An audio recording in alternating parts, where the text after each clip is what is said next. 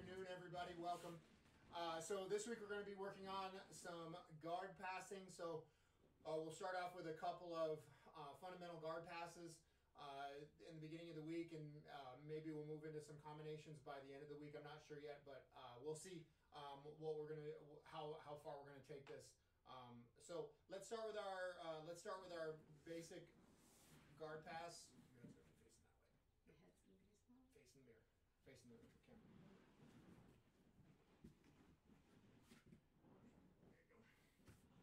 There you go.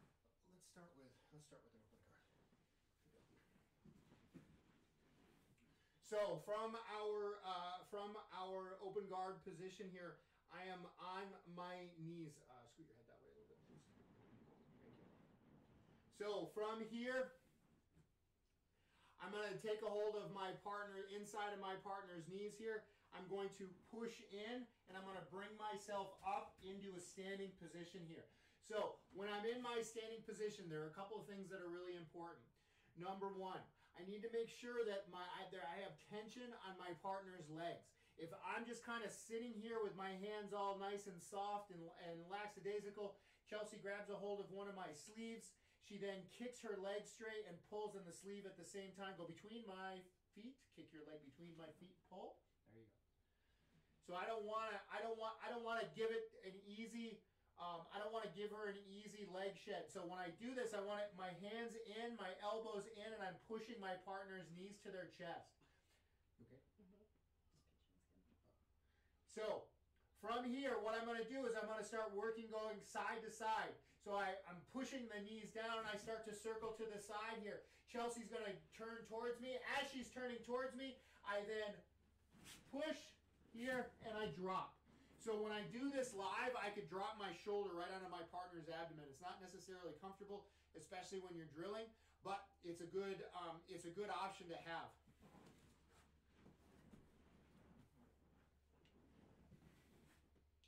So I am on my knees. My partner's guard is open. I grab a hold of the inside of the pants here. My elbows need to go in. I'm going to push my partner's knee to their chest as I stand upright here.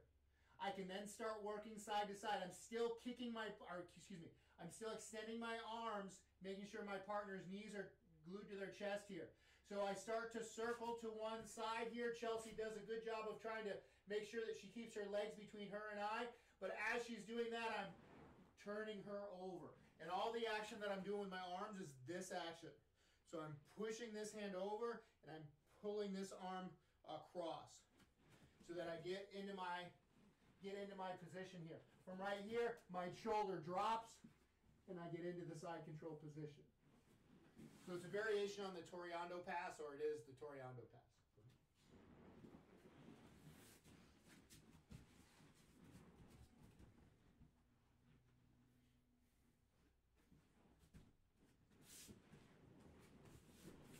No. You're turning. Don't extend. Don't push my arm. Don't push my legs away. That puts you out of position. So look here. Grab hold of my knees. Do the same thing. Just push my legs over as you did. Good. You put yourself out of position, right?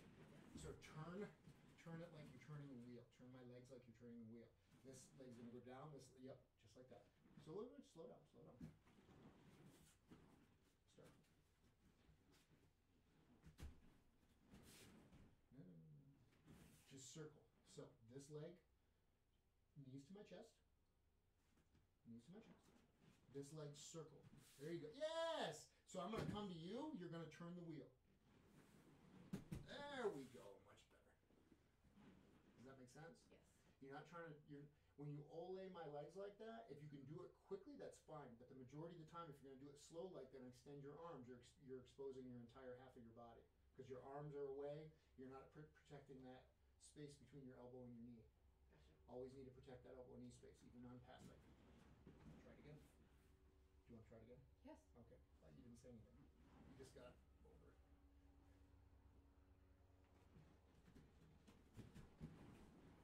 That's much better. Good.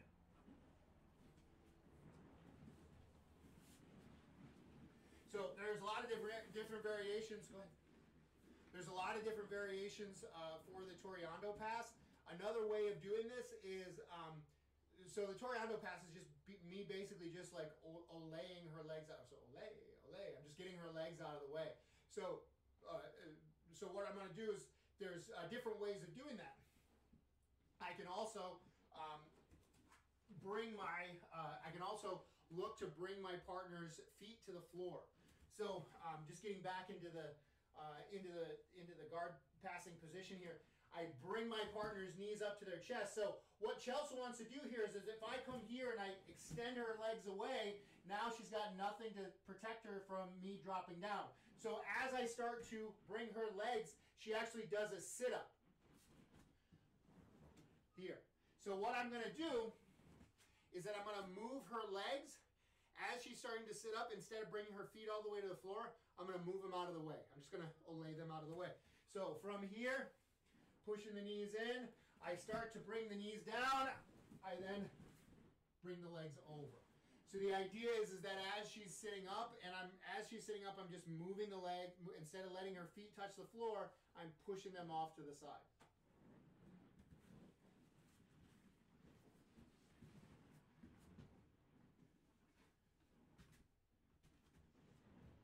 So it, so my feet can't touch the floor. Okay. Do you understand what I'm, do you understand what the, the concept is? Mm-hmm. So let's do it real slow. So you're gonna bring my feet to the floor as I'm coming up. So you gotta let my feet come closer to the floor. It's not just so come up.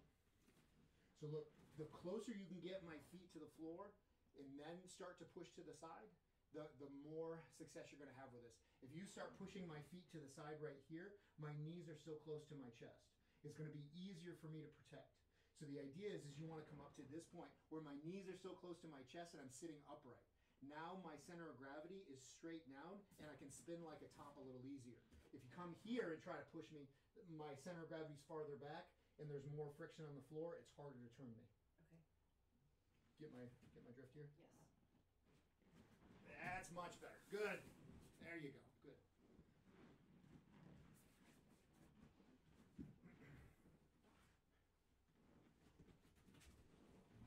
That's much better. Good. Good. Very nice. One more time. So that's our second variation. Second variation is um, is basically bringing the feet close to the floor. Once they're once they're upright, we we turn them um, to whichever direction, whichever side we want to go to. Our last one is the simple shake and bake. I'm just gonna um, just basically get them to commit to one side or the other by me going back and forth until I feel that they've committed their legs to too far to one direction, and then I just um, complete my pass. So from here. So from here, I'm in. Remember, I want my elbows in. I want my base. I want my hips low. I don't want to sit upright with my head above my hips. I want my head, or excuse me, I don't want to sit upright with my hips above my head. I want my head above my hips, and I want my I want my good position here. From right here, I start to circle to one side. Chelsea commits. I come back over to the other side. She turns and finish. So it's basically just going back and forth, and I can just kind of move her to, from side to side until I get the position that I want.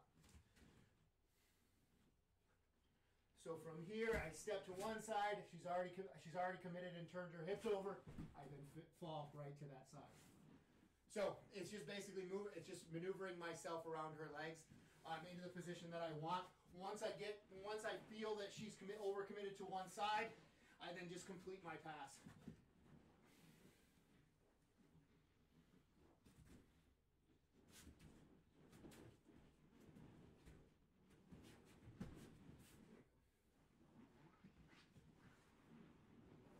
Elbows in, hands on the inside of my knees.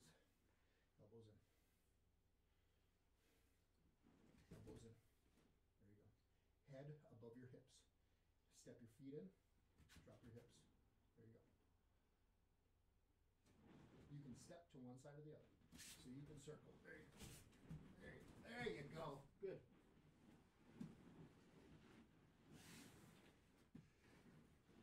And those are it. Those are um, three of the very three of the many thousands of variations there are of the Torreando Pass. So Um, it's just a matter of moving your way around your partner. Things to remember whenever we're doing our Torreando pass: elbows stay in, head above your hips as best you can. Obviously, if I'm pushing her, if I'm if I have uh, control of her legs, I need to be squatting down. I'm a lot taller than Chelsea, so I need to squat. I need to bend my knees.